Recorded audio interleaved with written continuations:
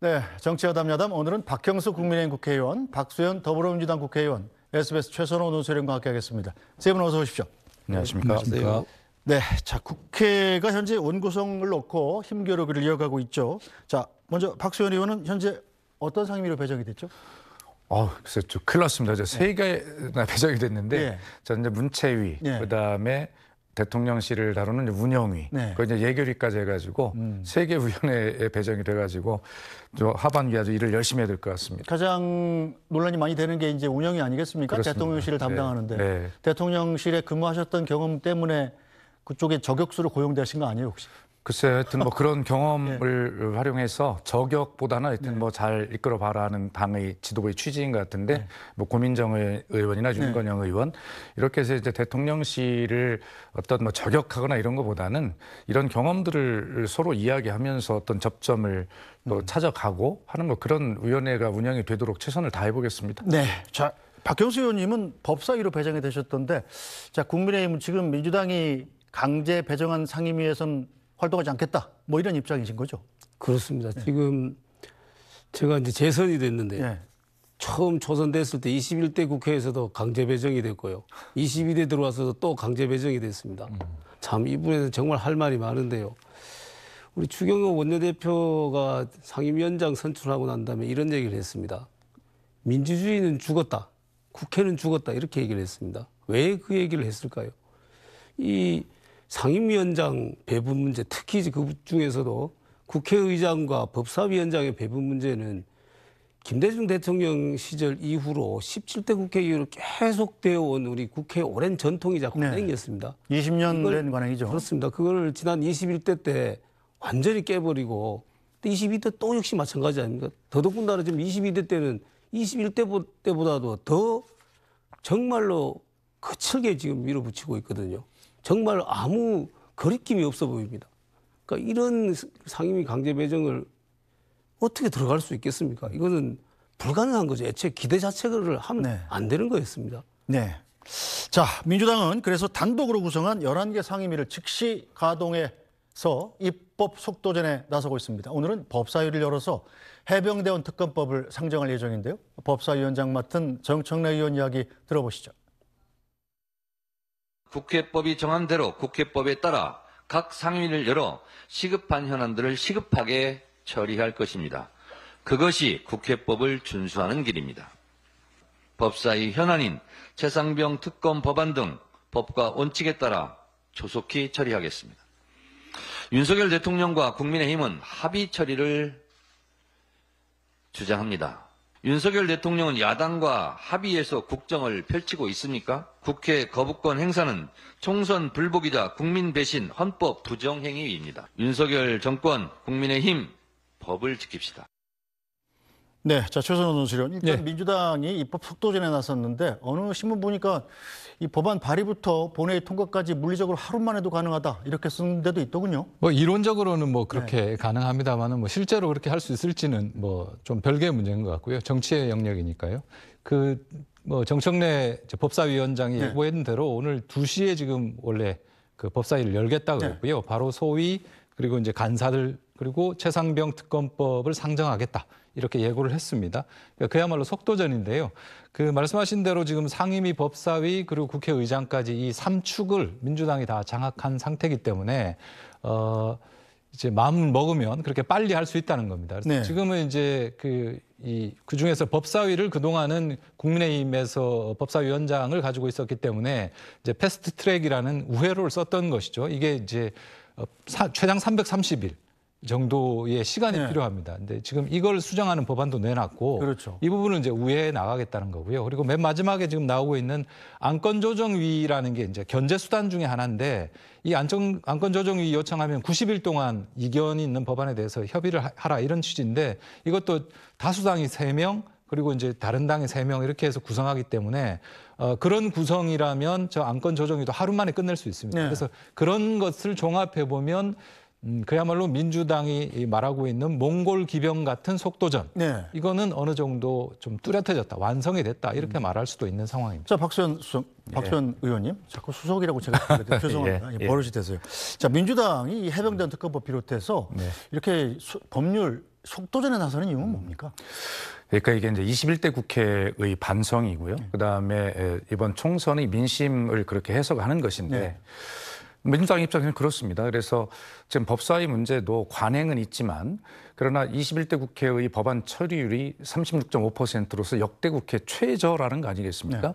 그런 내용을 분석해 보면 법사위가 최종 관문인데 여기에 무려 막 1만 6천 건 정도 되는 그 법안이 그냥 계류돼 있고 법사위가 열리지 않은 회의 자체가 열리지 않은 그 숫자가 굉장히 많거든요. 그래서 다시 말해서 일하는 국회를 만들어라. 제발 일 좀 해라라고 하는 21대 총선 민심을 받들기 위해서는 21대 국회처럼 지금 국민의 힘이 법사위 문 턱을 문고리를 딱 틀켜쥐고 법안 처리를 하지 않는 쉽게 얘기해서 이 직무유기를 하는 이 상황이 돼서는 도저히 총선 민심을 받들 수 없다. 그러므로 관행도 중요하지만 국회법을 지켜서 빨리 상임위를 진행하고 국회를 개원해서 여는 이 국회법을 관행보다 더 준수하는 이 자체도 새로운 관행을 만드는 것이다. 이렇게 해서 총선 민심을 받드는 일이라고 생각을 하고 다만 그러나 대화와 타협이라고 하는 원칙도 있기 때문에 21대 국회처럼 1년 동안 이러한 어떤 파행적인 상임 위원회가 운영이 되는 것은 바람직하지 않을 것이고 조금 더 두루기 전에 박형수 의원님하고도 얘기를 나누었습니다만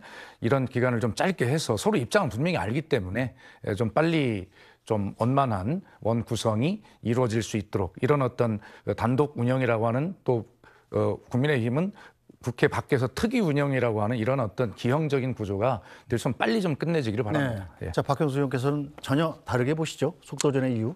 예, 그렇습니다. 방금 지금 국회법을 지키는 것이 이제 민주당 입장이라고 말씀을 하셨는데 국회법에 사실 이 부분에 대한 규정이 없습니다. 그래서 관행과 전통이 생긴 것입니다.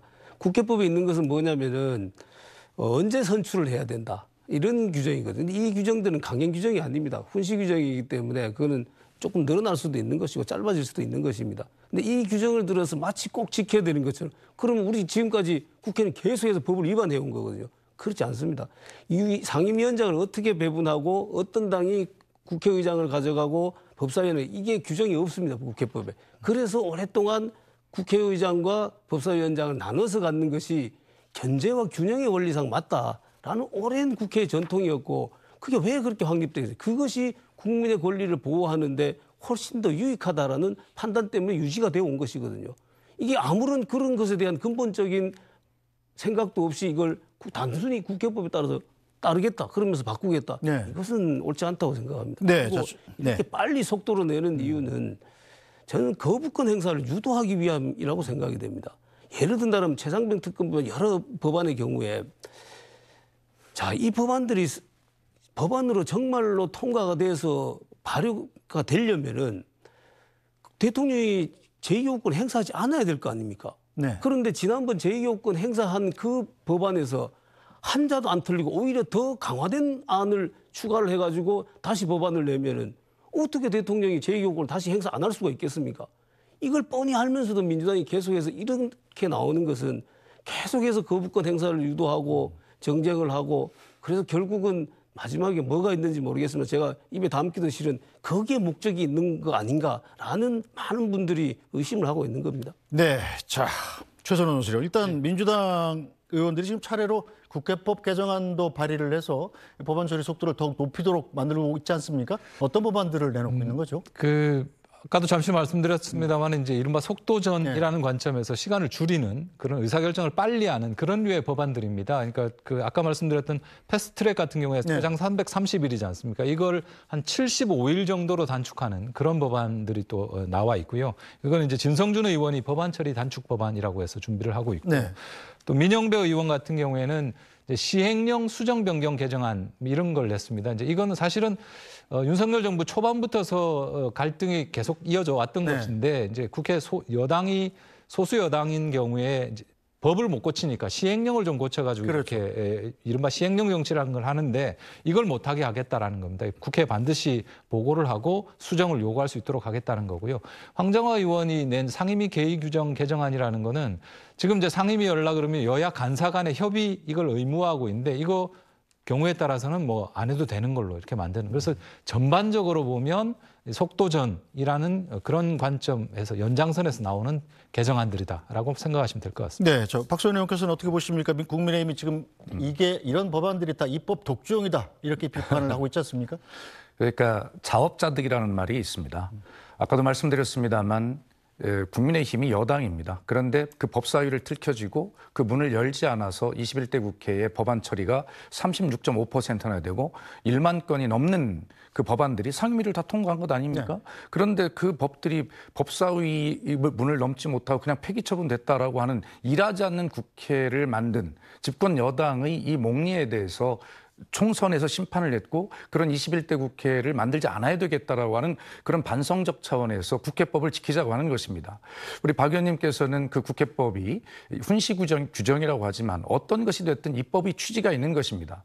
임기 개시 후 일주일 안에 국회의장과 부의장을 선출해야 되고 그로부터 3일 후에 원구성 협상을 맞춰서 상임위원장을 뽑아서 빨리 일해라 하고 있는 이 입법 취지가 법이든 훈시 규정이든 무엇이 그렇게 중요한 것이겠습니까? 그래서 에, 민주당은 총선 민심을 받들어서 새로운 관행을 만들어야 되겠다라고 하는 것이고 또 내심 저 개인적 생각은 그렇게 민주당이 입법 독재다, 독주다라고 하는 욕을 먹으면서 이렇게 시작을 하면 국민의힘도 타협을 하고 따라올 수밖에 없지 않겠습니까? 네. 그렇다면 이 갈등의 시간을 좀 줄일 수 있는 것이고 결과적으로는 양당 에, 좁혀지지 않는 그 갈등의 과제에 대해서는 이렇게 에, 어떤 법을 우선시해서 적용하고 빨리 나가는 것이 결과적으로 그 갈등을 중재하고 줄일 수 있는 최선의 방법이다라고 하는 것을 저희는 생각할 수밖에 없다는 말씀드리고요.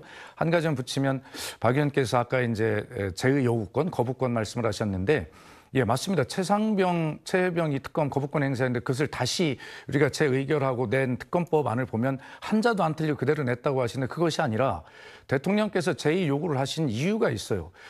민주당이 특검을 추천하겠다라고 하는 이것에 대해서 지적을 하셨는데 좋다. 그럼 대통령 뜻을 받겠다 해서 어떻게 했습니까? 비교섭단체도 추천을 할수 있도록 그렇게 이 내용을 바꿨단 말이에요. 그러니까 한자도 안 틀리고 그대로 내서 대통령 거부권을 유도해서 결과적으로 임에 담기도 어려운 그 사태까지 가려고 하는 저희가 있는 것 아니냐라고 하는 이런 것에 대해서는 좀 자세하게 들여다보시고 민주당이 설마 그렇게까지 하겠습니까? 그래서 서로 이것은 좀 들여다보고 신뢰를 가지고 대화를 하면서 어떤 노력들을 하고 있는지는 좀 서로 들여다봐야 좀 신뢰가 생기지 않을까 하는 생각이 듭니다. 근데 비교섭단체한테도 특검 추천권을 준다는 얘기는 네. 사실은 조국 혁신당에 주겠다는 얘기잖아요. 그런데 그 전에도? 아니 그 전에도 두 명을 민주당이 그냥 단독으로 추천하는 것이 아니라 대한 변협에서 추천한 네 명 중 민주당이 두 명을 네. 선택하겠다는 것이니까 결과적으로는 민주당이 마음의 입맛에 맞는 사람을 두 명만 딱 선정하는 것이 아니죠. 대한 변협이 추천한 네 명 중에 하는 것이니까요. 네. 그래서 이런 것들을 어떤 그런 노력들이 있는 것인데 그것을 민주당이 그냥 딱 하기 위해서 그렇게 했다라고 하는 것은 네. 좀 오해다는 말씀을 드립니다. 처음부터. 네, 재해복 특검 얘기 나오는 거 잠깐 짚고 넘어가죠. 말씀드릴게요. 자, 우리가 국민의힘에서 또는 대통령실에서 독소 조항이라고 하는 게 뭡니까? 지금 말씀하신 특검 추천 조항, 그 다음에 브리핑 조항이거든요. 이걸 싹 빼놓고 지금 제 비교섭 단체까지 이게 주겠다. 지금 애국에서 말씀하신 바와 같이 조국 혁신당이 주겠다는 거잖아요. 이건 민주당이 갖는 것보다도 더 계약된 상황 아닙니까? 우리 입장에서 볼 때는 상대편 입장을 생각하지 않고 그 얘기를 하는 것은 받아들일 사람은 전혀 그게 계약이라고 생각하고 있는데 그거를 오히려 고쳤다고 얘기하는 것은 어불성설이고요. 지금 네 명 변협에서 추천하고 그다음에 민주당에서 두 명을 그 중에서 또 추천하도록 돼 있지 않습니까? 이 부분을 변협에서 대통령한테 바로 추천을 하든지 그렇게 하라고 여러 번 얘기를 해도 민주당에서 전혀 그걸 듣지 않습니다. 그러니까 받아들일 여지가 없는 것이죠. 그걸 네. 바라지 않는 겁니다, 민주당에서는. 네. 자, 뭐 재해복 특검 하나만 놓고도 이게 밤새도록 토론해도 모자라기 때문에 좀 넘어가겠습니다. 이거 이 정도 하고요.